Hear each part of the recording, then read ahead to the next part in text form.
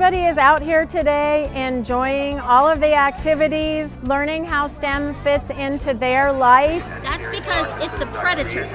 Predators that want to eat other animals are venomous. Two, three. Shake it, shake it, shake it, shake it.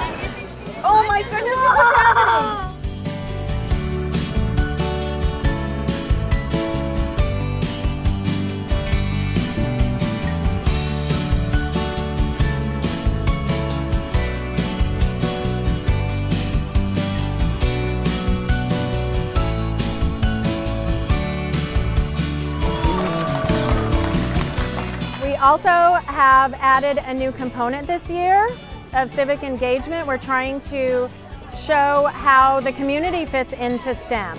The kids are so involved in wanting to help spread kindness. I want to get the word out that we have some incredible, incredible STEM-based type curriculum, especially in our department at Mesa Community College. It's not just in electronics. We offer welding, automotive. Uh, there's a lot of STEM going on and a lot of projects being put together. One of the things is I walk around a lot today and I see all the people that are looking at these different events and they're just awestruck and they're just speechless at all the different things that students are doing, that the community's doing around them. We're only in third grade and we created all this and so many kids think that just because you're little you can't do it, but that's not true.